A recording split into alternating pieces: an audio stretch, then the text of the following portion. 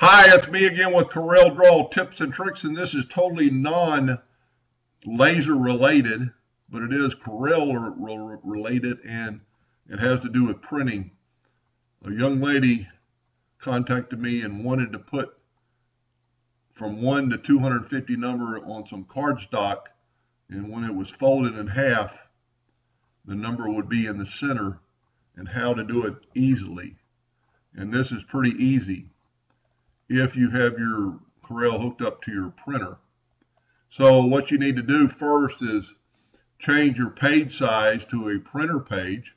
So we'll make it 8.5 by 11.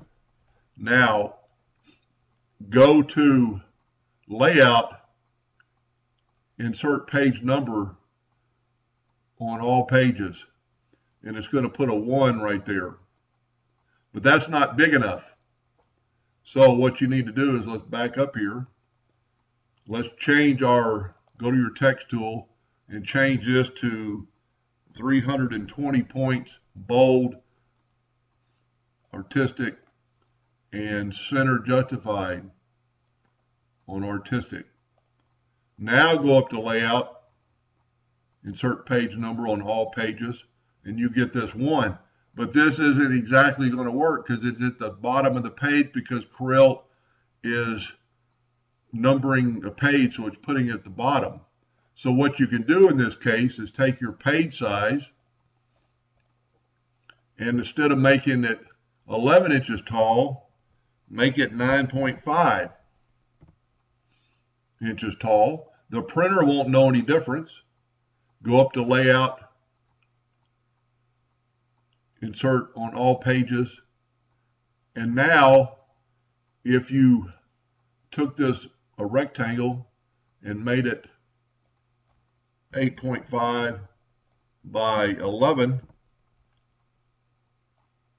I had my ratio locked, 8.5, and then put this at the top of your page,